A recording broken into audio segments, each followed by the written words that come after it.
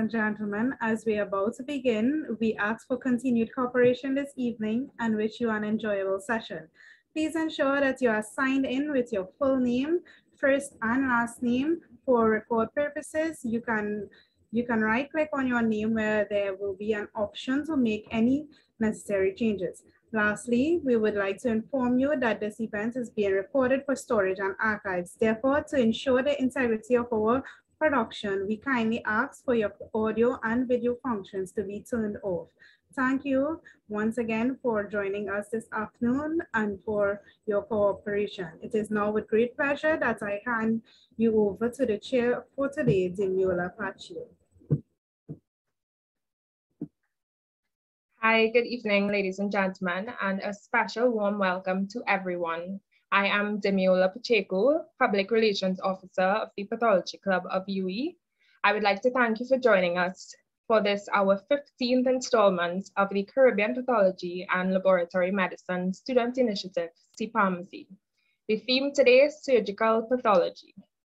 At this time, I am honored to be introducing the speaker this evening, Dr. Melanie Johncilla, who will be sharing her wealth of experience in surgical pathology today. But before we begin, I will give a brief insight to Dr. Johncilla and her work. Dr. Johncilla attended Yale University School of Medicine, then went on to complete a combined anatomic and clinical pathology res residency at Brigham and Women's Hospital, Harvard Medical School, with subsequent subspecialty fellowships in general surgical pathology and gastrointestinal pathology at the same institution. In 2017, she became an assistant professor at, of the pathology and laboratory medicine at Weill Cornell Medical College, where she still serves as an adjunct assistant professor. Dr. Johncilla has contributed over 20 publications and continues to publish in surgical and gastrointestinal pathology. Um, she also con contributes in global health education, as we will witness today, and the practice of pathology in resource restric restricted settings. She's currently a consultant pathologist of the Port of Spain General Hospital in her home country of Trinidad and Tobago. Certainly, Dr. Johncilla is an inspiration to many of us in this medical field. Please, ladies and gentlemen, welcome Dr. Melanie Johncilla. Thank you very much for that lovely, lovely introduction. I'm just seeing a face and a name that I can't ignore, so I just have to tell Andriella hello and hope she's doing well. Haven't spoken to her in a while. Um, okay, so I'll just share my screen and we'll get started.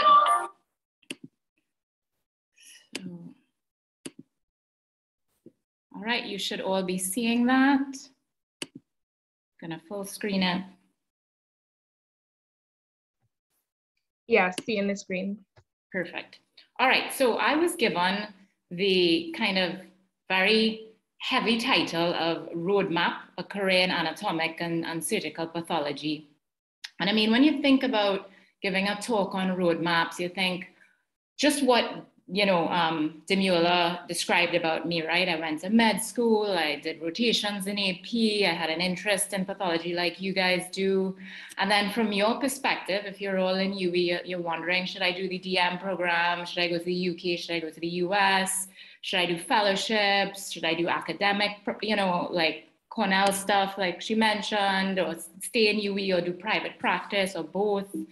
Um, and then, you know, the road kind of never ends though, right? So you could kind of give a talk on any of these kind of paths along the, the, the road because what what I do kind of every day is I have to maintain my skill and I also do a little bit of research on the side to maintain that academic kind of curious side of me. Um, so I figured instead of a roadmap, I'm gonna kind of change the title a little bit if I'm allowed, and I'm gonna I'm gonna go with life on the road of an anatomical pathologist or a surgical pathologist. So I'm basically gonna take you through one of my days that I might have had a couple of weeks ago, and I hope it works. And I'm sorry this isn't as interactive, but certainly it's about a 45 minute uh, um, an hour talk. So there should be time for questions or comments. And by all means, put it in the chat and I'll address them after. All right, so it's a random Thursday morning, you wake up, you have your slides, you know, Histotech, the Histotech gives you the slides in your bin.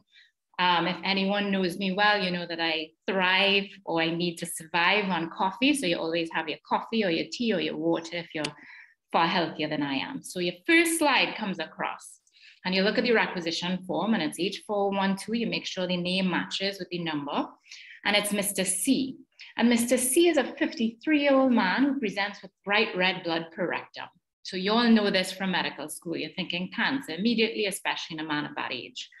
Um, he's referred to gastroenterology for a colonoscopy. You know at this point that I'm quite partial to gastroenterology, so you'll see a little bit of GI path in this first case. What they, what they see in the requisition form is that there's an, in the ascending colon, there's a pedunculated polyp, and in the transverse colon, there's an irregular mass, as you see here, that's pretty suspicious for malignancy. And you kind of have to call that cancer, right? It's an obstructing, very irregular mass. So they take biopsies of both. So let's just start with the first um, biopsy, that part A, that ascending colon pedunculated polyp. Now, one of the tenets of pathology that I have to say in every single teaching session, every single lecture is a pathologist needs to know explicitly what is normal before being able to identify what abnormal is. So for you, budding pathologists in the group, and for really anybody, you kind of, you know, even if you're going into internal medicine, you need to know what a normal heart sounds like, what normal lung sounds like. So it's the same sort of thing. You need to know what normal histology, non-neoplastic histology looks like before being able to identify um, neoplastic pathology. So let's just start with normal colon, right? So it's the stuff outside of this polyp. So if you look at normal um, colonic histology, these are called colonic crypts, right? And the colonic crypts are very round and they're very regular, all right? Basically what this is, is you're taking something that's three dimensional and you're making like three dimensional, like a cube or like a, a sphere, and you're basically cutting it and making it two dimensional, right? So in the colon, you have these crypts that effectively, you know, the crypts of Lieberkühn, as you guys might have learned in histology, that dip all the way down. But because it's a three-dimensional structure that you're making two-dimensional, you'll see these nice round structures that almost look like flowers.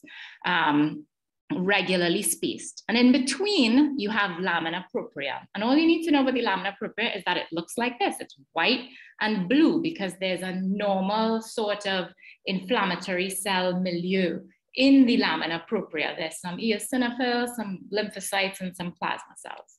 All right, we know what normal is. So as long as you know what normal is, you'll be able to spot now, and this is up to you, to spot if anything is abnormal. It's kind of like I don't know if I'm too old, but Sesame Street, one of these things is not like the other. That's kind of how we you know, we kind of go about. It's not as simple as that, but that's the best analogy I could think of. So let's see what this polyp looks like. Now, in this polyp, you'll notice that it's just a little bit more purple up top. Um, I'm just gonna change, right the, you'll notice that it's very, very purple up top and you're not too sure why that is, but you know it certainly looks different from the normal because this looks pretty kind of pinkish with the white and the blue. And then on the surface here, this looks really, really dark blue to, to purple, while this looks like this. So you're already kind of identifying that there's something different. And I'll tell you that this when you have this kind of surface purplish look that we look more into in, in the slides coming, that's what a tubular adenoma looks like. And a tubular adenoma is basically low-grade dysplasia. So for this, when you're, you know, signing out cases, we get a lot of these from, you know, the GI docs, they'll say it's a polyp. And all you're basically looking for is that surface purplish look. And that indicates that this is a dysplastic lesion and it's typically a low-grade dysplastic lesion. So what is dysplasia? And I know you guys have probably covered this, and this is just my kind of ad hoc definition. It's the acquisition of a morphologic change. That's purple change in the epithelium which predisposes that tissue to carcinoma. So you have normal, then it goes to low grade dysplasia. You have a tubular adenoma, and then you'll get high grade dysplasia. The cells even get a little uglier, but it's not quite cancer. So it's a tubular adenoma with high grade dysplasia. And then it becomes, frankly, carcinoma.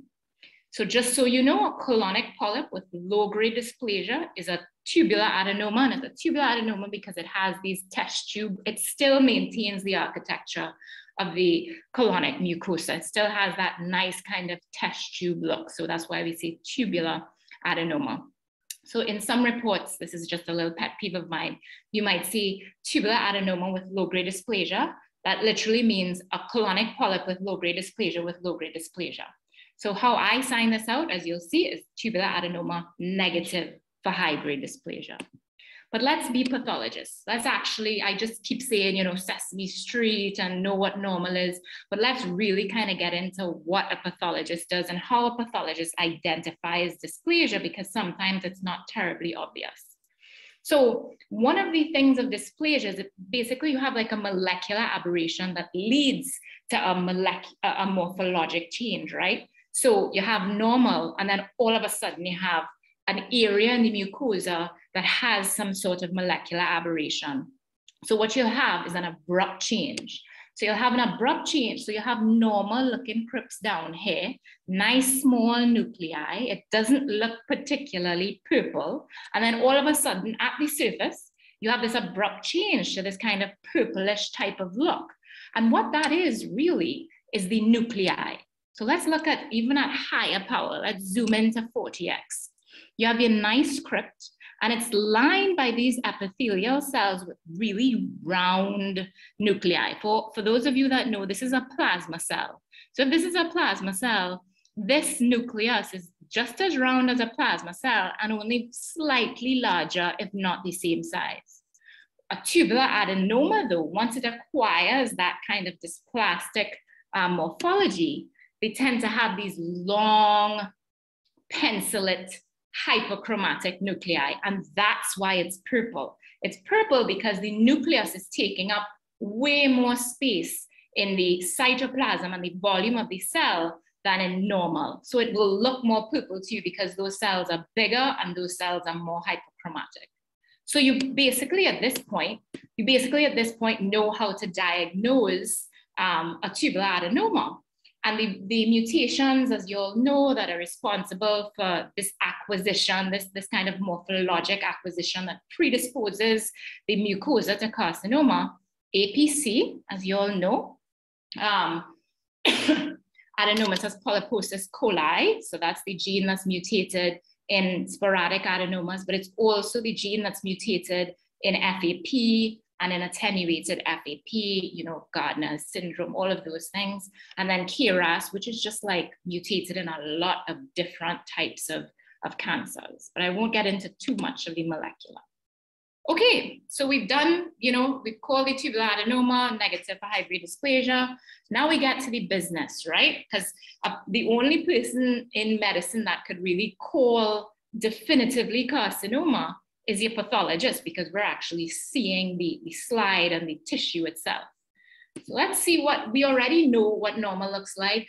And we already have a very, very high suspicion because we work in a team and the GI doc says, this is an obstructing mass, this is gonna be cancer, it has to be cancer. So let's see what carcinoma looks like in contrast. So we have normal, notice how regular the crypts are. I could almost predict where the crypts are. Notice that lamina propria, again, white and blue. Let's look at what this carcinoma biopsy looks like. And I've actually spoiled the whole thing because this is carcinoma, right? If it wasn't carcinoma, we would have to actually ask the GI doctor rebiopsy again because that gross feature, that, that those endoscopic features are so kind of classic for carcinomas, except in very, very rare circumstances. But this is what a biopsy looks like. So remember I said the lamina propria looks white and blue with scattered, you know, inflammatory type cells with your plasma cells and eosinophils.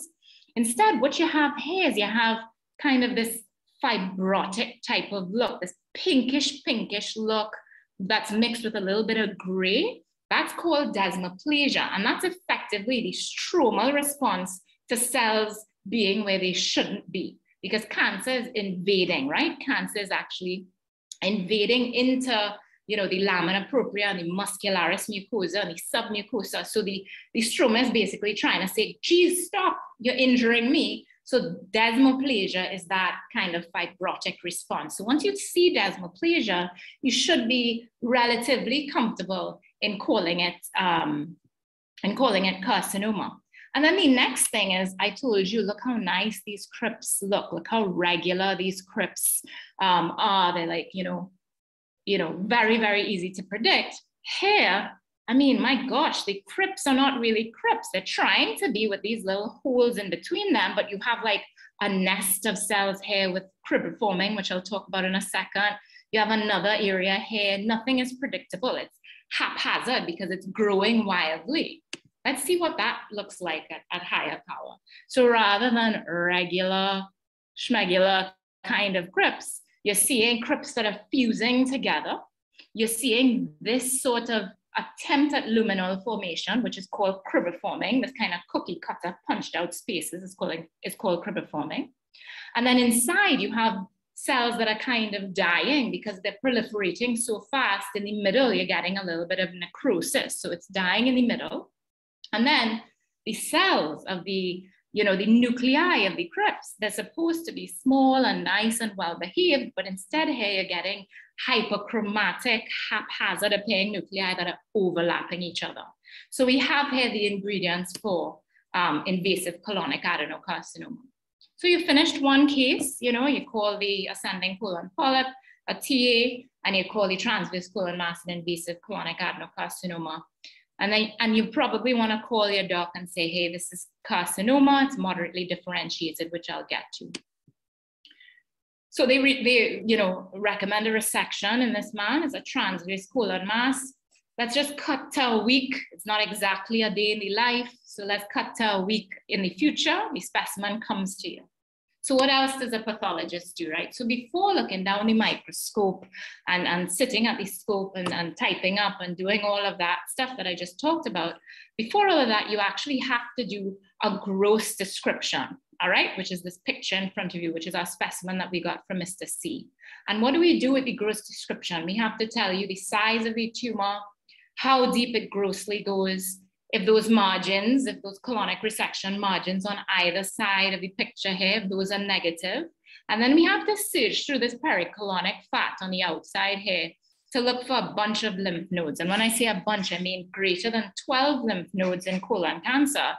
So that, and then we have to look under the microscope to see if they're positive. So there's a lot to be done, um, you know, when the specimen comes down from surgery. That's why sometimes just, uh, uh you know, incidentally, when someone does a surgery and then they call like two hours later and they're like, hey, what's the result? I'm like, nah, we haven't even grossed, completed the gross of the specimen yet. So this is just kind of informative for those of you who don't even want to go into pathology. It takes some time. So what we do all of that type of stuff for is to stage the cancer, right? Because the stage is the single most important prognostic factor, right? We all know about stage four, we all know about stage one, and we all know about the difference in survivability between a stage one and a stage four colorectal ca um, cancer. So how do we do that? The first thing, so there's TNM. I know you all know it, but a refresher is always good. And the um, T stage is basically telling you how deep the carcinoma goes in the entire colonic wall. So if you just follow my arrow here, this is that mucosa that I was talking to you about. So if a tumor is here, it's basically in situ. This is the muscularis mucosa that separates the mucosa from the submucosa. And then, so if a tumor is here, if it's in the submucosa here, it's a T1. And then this is the muscularis propria, right? It's responsible for the movement of the bowel, as you all know. If it's if the tumor goes all the way through the mucosa, submucosa, and into the muscularis propria, that's a T2. And then see this space, there's a little bit of a space here in between the muscularis propria and the very, very bottom, which is the serosa. If it's there, it's a T3. And then if it breaches the serosa, it's a T4. All right, so we basically have to, uh, us as pathologists now, we grossly look at how deep it's going after we cut through the specimen, but then we look under the microscope and see, okay, it's in the muscularis propria, it's a T2. Then we look at the lymph nodes, and then if, you know, the, the um, surgeon is doing a laparoscopic is doing an X-lap and they notice some sort of, you know, lesion in the liver and they take that, we'll be able to tell the M stage. But more often than not, we're unable to tell the M stage if somebody just gives us a, you know, a transverse colon resection. Okay, so let's continue with the role of the pathologist in colon cancer. There's a lot of other things that we have to do that are prognostically relevant. So the, the one thing that we do is we have to say um, what the grade of the tumor is. So grade is effectively how closely the tumor is attempting to recapitulate that of normal colonic epithelium. So this is a well-differentiated tumor, and I'll call it well-differentiated because it's still sort of forming little kind of crypts. It's there's a lot of lumen formation at least, so you'll call that well-differentiated. Moderately differentiated it's still forming, you know, lumina, but it's more, it's a little bit, um, it's still less than 50% in terms of solid formation, um, but it's not as, you know, it's not like, it's more than 5% rather of, of, of um, gland formation. I think I misspoke a little bit. So effectively what I'm saying is well differentiated, most of it, so 95% of the tumor is forming these nice lumina. In moderately differentiated, it's less than that, but it's still greater than 50% of the tumor is forming glands. And then something that's poorly differentiated, most of the tumor is solid and not forming glands. Effectively, what the WHO has done here is well and moderately differentiated, all goes into low grade, and um, poorly differentiated is called high grade. And there's a 50% cutoff, which is why I was like kind of speaking a little bit in circles. So effectively, if you have greater than 50% gland formation, it is low grade. If you have um, less than 50% gland formation, it is high grade. It's very simple now.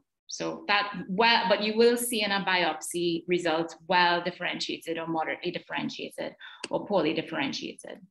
The other thing we do is we subtype. There are a lot of, if you look at the WHO, there are a lot of different subtypes of um, you know, colorectal carcinomas. So I know these images are a little bit small and I'm happy to share these slides after, but effectively you're not even seeing too many glands or too many epithelium here. You're seeing too much of the epithelium here. You're seeing these kind of wide lakes of, you know, gray blue sort of material. So that's mucin.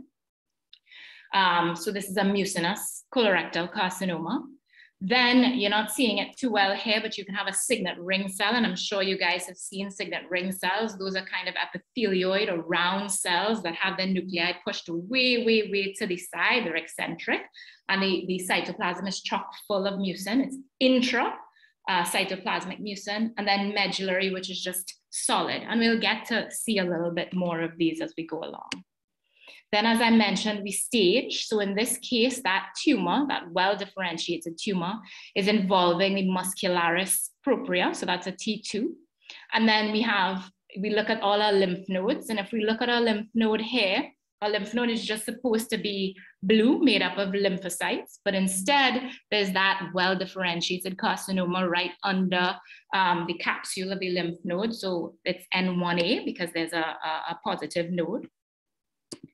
And then there's also what, what the other things that we do is we also look for the presence of high risk features like lymphovascular invasion. So in this image down here, what you have is an artery. And then right next to an artery is always a vein eh, for the most part. Um, and then that in, within this vein is you know, a colorectal carcinoma. So you have lymphovascular invasion, you have T2, and you have it meta lymph node. It doesn't bode well for the patient. And then the last thing that we do for the most part is we ensure that the lesion is completely excised. So all around the lesion, that radial margin, and then those mucosal, that distal and proximal margin.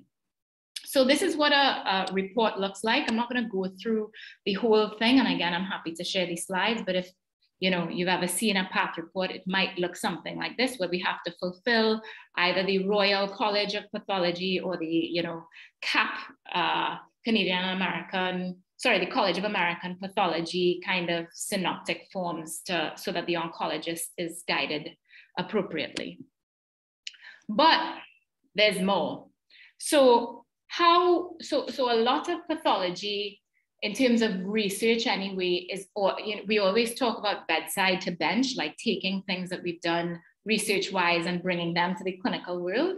It's kind it could be kind of opposite for pathology because we're taking what's on the bedside or the surgical table and we're bringing it to the bench. And that's how we kind of discover you know colorectal carcinogenesis different molecular aberrations etc so let's talk about colorectal carcinogenesis for a second. And you all know this this is one of the first so most colorectal carcinomas, um, their pathogenesis is through something called the chromosomal instability pathway, the CIN pathway.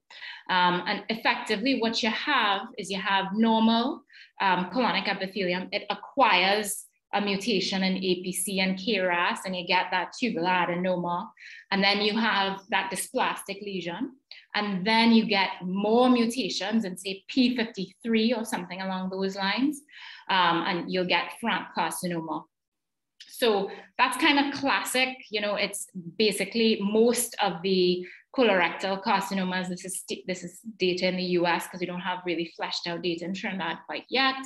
Um, and this is just talking about the lifetime risk of the average population in the US is 5%. And most of them are sporadic, you know, 75% of cases um, of uh, just kind of these sporadic kind of cases. But there's another pathway that um, contributes or accounts for 15% of colorectal cancers, and that's the microsatellite instability, MSI, or mismatch repair deficiency pathway. So what that is, is that there's a mutation in mismatch repair genes. So mismatch repair genes are MLH1 and PMS2, and those are dimerized, those are joined together and MSH2 and MSH6, which are also joined together. And what they do is they kind of track along DNA. And we know, right, A is supposed to go with T and G is supposed to go with C. And they kind of look for mismatches, right? So they look for, you know, oh no, a G is going with a T. And then they will clip that out and say, bro, we need a G with a C or a A with a T. Now you could imagine if you have mutations, deleterious mutations in MLH1 and PMS2 or MSH2 and MSH6, you'll get mutations all over the place because it'll be like the wild, wild west, right? G will go with the T, you know, the A will go with the C, it'll be insane. And this, you could get sporadic mutations or you can get mutations like hereditary mutations, which will lead to Lynch syndrome or as we know it's hereditary non-polyposis colorectal carcinoma. Incidentally, MLH1 of the pair, MLH1 and PMS2, MLH1 is the dominant. So if you lose MLH1, you'll also lose PMS2, basically. Um, same thing with MSH2 and MSH6. MSH2 is the dominant. So if you lose MSH2, you'll also lose um, MSH6. So the thing that we need to know about this, um, even though we don't do it as regularly as we should be doing it in Trinidad, is the MSI tumors confers a good prognosis. And if the tumor is MSI or mismatch repair deficient, it actually reduces the, the benefit of FU-based chemotherapy. So your oncologist may actually decide differently with those stage two um, mismatch repair deficient or microsatellite unstable carcin colorectal carcinomas. And it's a, the job of the pathologist to identify those for prognostic and predictive um, reasons. what we have noticed, or what we what I kind of do in Trinidad, because one, not everyone can afford you know, the microsatellite, instability testing or immunohistochemistry. Um, the histologic features that are overrepresented in, in these types of colorectal carcinomas. And if I see them, I strongly, strongly suggest that we, we somehow get, um, you know, this testing done because it could really kind of inform the patient's future care. So one of the things I look for is in this uh, tumor infiltrating lymphocytes or adenocarcinoma with intraepithelial lymphocytes. So you're seeing lymphocytes here, lymphocytes here, lymphocytes here, or where all the arrows are. If you have a lot of those, that actually, it might likely very well be uh, a mismatch repair deficient colorectal carcinoma. If you have mucinous tumors or even signet ring cells, so here's a slightly higher power of the signet ring where you have this kind of eccentric nucleus, and then you have intracytoplasmic mucin, that's also more likely to be MSI or MMRD. And then if you just have solid a solid, solid tumor with a lot of intraepithelial lymphocytes, as you do here, that's called medullary, um, and that's also more likely, excuse me, to be uh, um, um, MSI colorectal carcinoma. So as I mentioned, the current recommendation for all colorectal carcinomas is to do immunohistochemistry to look for the loss of proteins MLH1, PMS2, MSH2, MSH6 It's actually not done on all hair. So, but you know, but these are the things and working in a, in a low resource setting, trying to get them done so we could kind of, you know, give the patient the best chance as possible. So let's go back to Mr. C. It just turns out that Mr. C was able to get um, mismatch repair immunohistochemistry. And for you all, for those of you all that know immunohistochemistry or don't know immunohistochemistry, it's really easy. If the protein is there, it's brown. If it's not, it remains blue.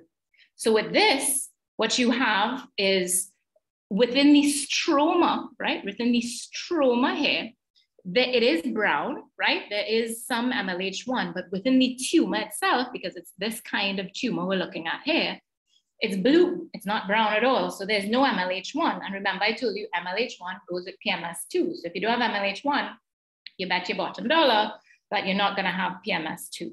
But you'll have MSH2 and MSH6. So what I do in that case is I add an addendum and I say, you know, it demonstrates loss of nuclear staining for MLH1 and PMS2, MSH2 and MSH6 are preserved. These results suggest the presence of an abnormality in DNA repair mechanisms affecting MLH1, which is basically telling them this is a microsatellite unstable carcinoma or you can also say these words are interchangeable, mismatch repair deficient um, colorectal carcinomas. So just a little bit, 3% um, of MSI carcinomas are associated with Lynch syndrome.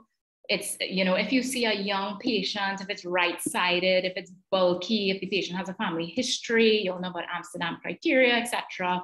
It's more likely going to be Lynch syndrome and it's associated with a host of other carcinomas so much so that even the, in the States, the endometrial carcinomas in the States, they do mismatch repair um, deficiency testing, the same IHC that I, that I told you about. So we're, we're getting there in terms of getting those stains, but uh, you know, we can, we can certainly discuss the hurdles to get that um, at the end of the lecture. Okay, so we're done. Oh, no, no, that's just one tray of slides. You have a couple more cytology cases and you have a rose scheduled later this afternoon. And we'll talk about what a rose is, but just in case you're like at the edge of your seat, a rose is a rapid on-site evaluation where you're able to look at the specimen, if it's a cytologic specimen, at the site of the operation. So, you know, keep that in your mind about how your day is going, all right? So let's just look at a couple more fun cases to show you. And I'll stay away from the GI. It's just, you know, close to my heart. So let's go. We have slide C46 in our tray again. And this is a 42 year old with a mass in the superficial parotid gland, right? So we're seeing this very well circumscribed lesion on the left side. They do a FNA um, of the lesion, and you all know about FNA, and you all might have even done some in med school where they just kind of go in with a needle and suck it all out to try to get some cells.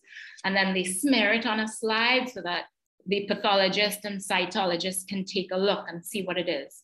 But this is a pretty um, standard lesion. So just kind of remember what it looks like. It was pretty firm to the touch. It wasn't hurting her all that much. It was just kind of big and a, a little bit on, on, the annoying side. So when we do cytology and, and we get those slides prepped, um, they do a pap stain, just like you know what you get in like a your cervical smears, the pap stain, and that's supposed to help us look at the nuclear quality.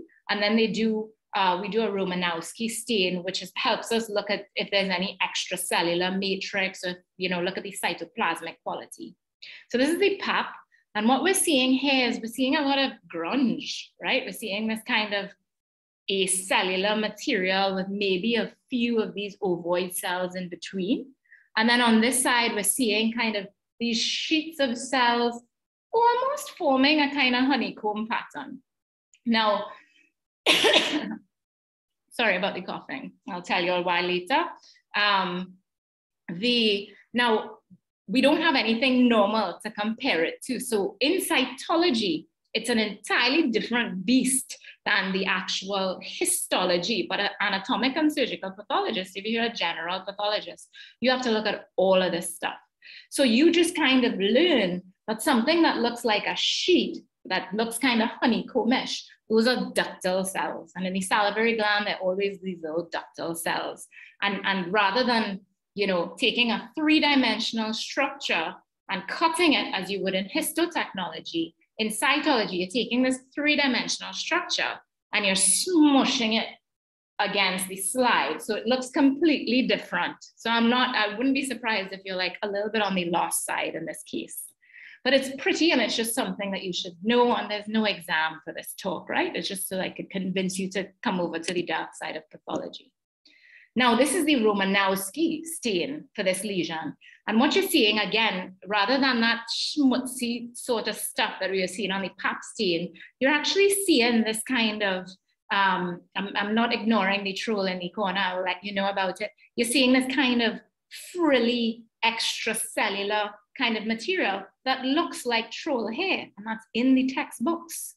That's how fun pathology is. So what you have is this kind of, you know, very, you know, um, magenta, kind of purplish looking thing that almost looked like if I were, you know, taking this guy's hair and kind of making it even more afro-y than it is. And this is no, I wouldn't say pathognomonic, but very close to being pathognomonic for a pleomorphic adenoma, which is one of the most common lesions that you'll see in the parotid gland. And it presents exactly like I presented with case C46 at the beginning.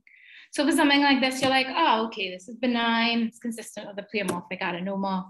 Um, usually patients would either want them out or if there's any kind of suspicious looking stuff, the head and neck surgeon will go ahead and take it out. This is what it will look like um, very, very well circumscribed within the salivary gland. So this is salivary gland um, tissue here that looks lobulated and kind of pale, um, reddish.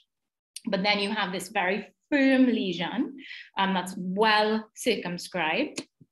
And then under the microscope, what you'll see is you'll see those cells that look like duct cells, right? These kind of ductal cells, but now you're taking like a three dimensional you're actually cutting it. So you're seeing lumina as opposed to the kind of um, honeycomb type of look. And then you're seeing this cartilaginous sort of matrix. And that's what the troll hair, that kind of very magenta spread out thing. Um, that's what, you know, it, it, that's the equivalent of it on cytology. So it's a pleomorphic adenoma. You always see a bunch even if you don't go into pathology because it's quite common. Ah, okay, so you finish up the day, uh, you're doing a little reading, you know, you probably have, I, what I do, I take a little bit of time throughout the day to maybe do a little project or think about a project that I want to do. I, of course, always have my coffee because the coffee reminds me, oh gosh, I have a rose schedule. I have my rapid on-site evaluation schedule. So I head down to the endoscopy suite to get that, to, to be present for the rose. Let's see how that works. So I'm introduced to Mr. J. Mr. J was a 50, is a 50 year old man with a borderline, sorry, that's a typo, resectable tumor of the uncinate process of the pancreas. The docs are just like, listen, I just want you to call this an adenocarcinoma so we can either go to resection one time or tell oncology and see if they want to give neoadjuvant, uh, you know, neoadjuvant chemotherapy. So what they do and what the very skilled endoscopist does is they actually go down just like they're doing an endoscopy, right? Um, but there's a little bit of a, there's a camera and an ultrasound kind of imager on the end. So you could see the masses, you could see the liver, you could see the pancreas, you could see all sorts of things. So let's see what we saw, all right, in this case. And this is an actual real case that we did about uh, four or so months ago. So they go down with the camera, they're in the duodenum there, they put on the ultrasound, they see the liver, and you kind of know this is the liver, right? Little portal tracts and stuff. And then at some point, they reach the pancreas and they see this massive um, uncinate and pancreatic head mass that's really well circumscribed.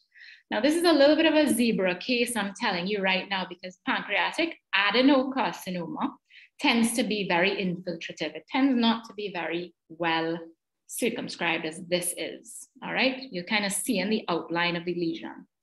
So the surgeon or the endoscopist takes, that's the needle, and they take, they, they kind of try to get as much as possible because they're like, yeah, we just need to know what this lesion is.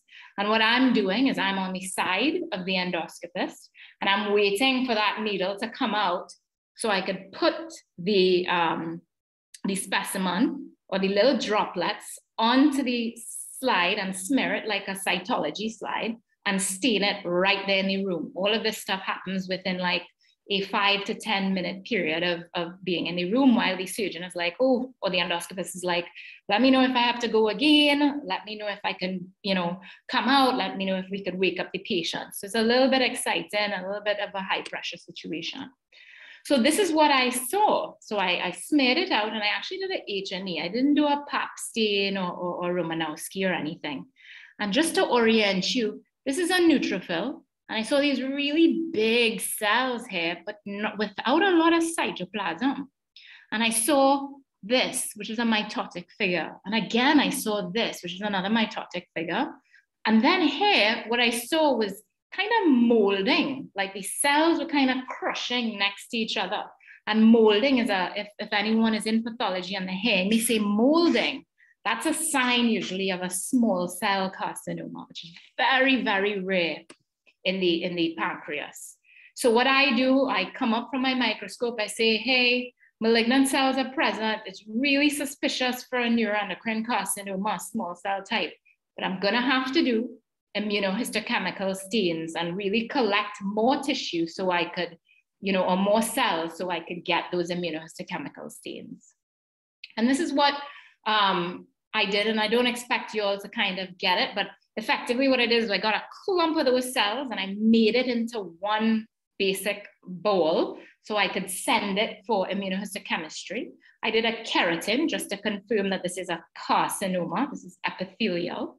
Then I did a synaptophysin. Synaptophysin is a stain that stains anything of neuroendocrine or endocrine origin. So it would stain a small cell, it will stain a, um, you know, a well-differentiated neuroendocrine tumor. And then I did a Ki67, and a Ki67 stains all the mitotic cells. And you can see this is all brown. Basically, everything is brown. So it kind of confirms that this was actually a pancreatic neuroendocrine carcinoma, small cell types. This is you know how you get small cell carcinomas in the lung? This unlucky man had a small cell carcinoma of the pancreas. this is just the very, very long write-up. This is the actual diagnosis that I gave um, that confirmed it.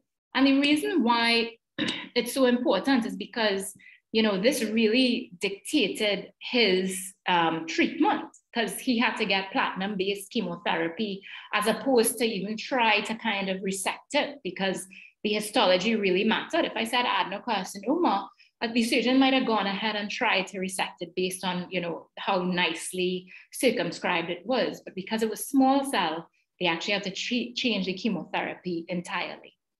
So that was um, you know, a day in the life and a week later type of thing. I was particularly busy because we had the rose scheduled.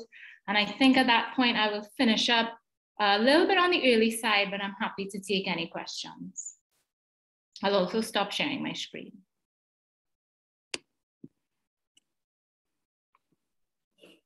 Thank you so much, Doctor.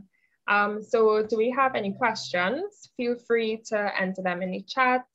If you want, you can turn on your mic as well to ask the question. So in the meantime, um, Doctor, if you had to encourage someone who's deciding on their specialization um, path, what would you say to them? I would say, uh, well, I would say what I was told. Um, and there were two things I was told. Think about the most boring thing in the specialty. Um, and like just ask somebody in the specialty like what the most boring thing is. Um, and if you could tolerate that, more likely than not, you're supposed to go into that. And then it's really about immersion. So don't be afraid because, you know, um, most people are nice and most people have been where you all have been before. So um, most people will take you under their wings and show you really, a this is really what it is. So I would I would do a lot of immersion into um, you know whatever specialty it is, and you kind of have to like it, right? And I, that's that's the most important thing. And what I tell people about everyone asks, you know, why I went into pathology because pathology isn't a very let's be honest, it's not like a sexy kind of field, and you know it's um, it had a bad reputation back in the day, a couple of decades ago, with the personalities of pathologists and whatnot. Um, so people were quite surprised when I decided to go into it. I really like like that troll hair thing, that pleomorphic adenoma, and I know I'm going to sound like an absolute joke right now, but you know, it's just being recorded. It is what it is. Um, is my second favorite salivary gland tumor because it's pretty. My my favorite is adenoid cystic. So you just have to kind of go with what you like and don't really take on anybody too much because it's your whole life and you want to spend your whole life doing something that you enjoy but but do your due diligence first. And it's okay to change your mind i would say. Yeah i agree. And you can't really teach passion. You just need to search for it. And as you said you know you'll you'll find it. Um how do you see um, the future of pathology in terms of technology developing um, the role of the pathologist? Do you see that changing? Absolutely. I think, um, fortunately, not in my lifetime, but maybe in your lifetime, I think the, um, I think molecular, I think we really need to, to push molecular both in we we already do in pathology residency actually. I think that's the most pushed because we're so close to the tissue and that's what you, you kind of have to learn that. But even in med school because everything is so molecular now like next gen sequencing next generation sequencing is done on not even you know is obviously done on all neoplastic lesions but it's whole exome sequencing is being done to figure out why someone has like a random you know autoimmune disease or something along those lines. And we kind of need to understand it and understand the vocabulary by which to, um, you know, even talk about it. So I think, and, and right now I would suggest that you kind of do that on your own because I think in about 10 years, you're going to be talking about, yeah, boy, instead of colorectal cancer, you'll be like, gosh, boy, yeah, KRAS, G12D mutation, P, P53, we don't have any actionable mutations for this one. And the oncologist is going to call you and say, do you have a, you know, do you have a BRAF there? You know, and you're going to have to be able to have that conversation because they kind of do that now. Also, regarding the um, rules, the rapid on-site evaluation, is it actually rapid? Because I saw that you would have had to do follow-up, so your Ki-67, your synaptophysin, etc. Yeah. So with that, so I showed you all that one because that was a, just a very rare one, and I think I, we're actually writing that case up. But um, usually, what happens is you it, that particular one wasn't so rapid because I just had to say I'm very suspicious of the neuroendocrine. Don't do anything until we do these stains because you don't want to make a decision. But usually, what's done is they they they do the FNA or FNB even, smear it, I say consistent with adenocarcinoma, person either gets, goes directly to, you know, resection or goes directly to chemotherapy. And we spare them that way because you could imagine if someone does a biopsy and they miss, that patient has to wait the you know three four days for the path to come back as non-diagnostic, and then um, they have to go back to the endoscopy suite, go under anesthesia again, get another biopsy, as opposed to me just saying, "Nah, it's just blood. Go on, take some more." So that in in some ways it is rapid. Usually Understood. it's rapid. Okay, so we have a question here. You can go ahead and turn on your mic. Um, hi, good evening, uh, Dr. Johncilla. It was a wonderful hi. presentation. Thank you so much for that. Uh, I do share that passion for surgical pathology, have though having a background in hemopath from nice. India. Yes, nice. and I am uh, wanting to pursue a career in surgical pathology. Uh. There were brilliant cases in the presentation. I was just wondering that uh, is there a molecular uh, workup done for the tumors as well in terms of like if we have a cancer, do we have methylations and CGMC uh, sequences or maybe workups on solid tumors like or NGS done in routine uh, there where you're practicing? So we, well, not in the public system okay. and in the private system, um, we do do so with um, mismatch repair, we would do the immunohistochemistry and then to just save on the cost rather than doing the methylation of the MLH1, okay. we would do, um, we would actually send them for Lynch testing right. one time. Right. Um, and there's a surprising number of Lynch cases in Trinidad. Right. And then for the solid tumors, so for lung ca- carcinomas, Trinidad has a very good relationship with Roche. So okay. we send those lung cancers to get PD-L1 IHC, ALK, EGFR, not ROS1, um, I think there's one more that we get um, that just slipped. I think that might be the only one. We used to be able to get foundation sequencing on the lungs, but but right now we just get the actionable ALK, EGFR, and PDL1. Right. Um, but it's all away. It's all we all have to send it away right now. But there's some labs, I think St. Augustine, right. that that they're trying to get the the kind of next gen and molecular type yeah. of sequences going. In, in terms of reducing the turnaround time for the follow-up for the this thing so that we have an in-house thing out there. Yeah, we should. I mean, if you're into heme path, you know that molecular, yes. I mean, the ELL and stuff. So I encourage you to get my email address. For sure, I'd love to. Actually, and, um, I uh, I did my uh, I did my cancer specialization from Tata Memorial in India. That's like okay, the big okay. center. So we used to do NGS that had just initially started when I left my fellowship. So get my email address. We could chat because yeah. I think a lot of I think uh, and and uh, join up with the Path Society and stuff because we're, we're mm-hmm. trying mm-hmm. to get things rolling. It's just it's just tough, you know, in a, in a low resource kind of setting. I agree. Yeah, that is. I would love to have your email. Thank you so much. Sure. Okay. It's a pleasure. Thank you so much. Thank you. So we have another question. You can go ahead, Mr. Lai. Oh, hello. Well, thank you for this amazing uh, presentation, actually. Um, I just have a question. It, I guess it more pertains on how pathology practice is done in other countries. Um, like I'm currently in Canada.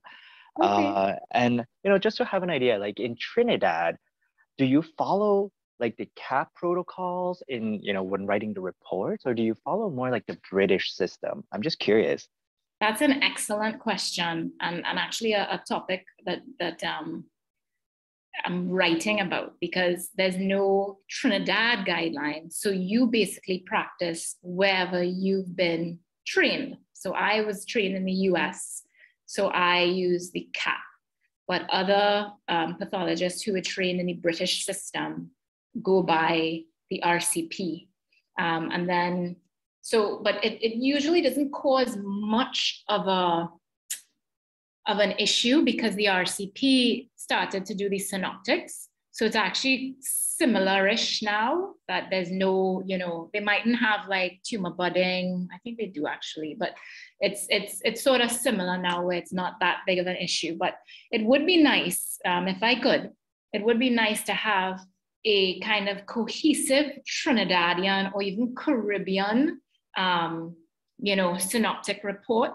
but that's I think that's years years down the road because we kind of need to do research in our own carcinomas first to figure out what's relevant, et cetera, et cetera. So we just kind of do how we've been trained and then feel the questions from the oncologist. Wow, that's that's pretty neat. So you get to like develop your own protocols potentially. So potentially, yeah, potentially. but I mean, you know, that's a whole long, that's a different conversation entirely. I guess I'll ask. Okay, I might ask one follow up question yeah. then. Um, since you know you you seem to be you know your your department has both exposure from both British and American, so there are some differences in diagnoses, right? For example, for Barrett's esophagus, uh, I know that the British way looks at like the goblet cells differently. So how, how would you resolve? Right. or you like sometimes they count it or not?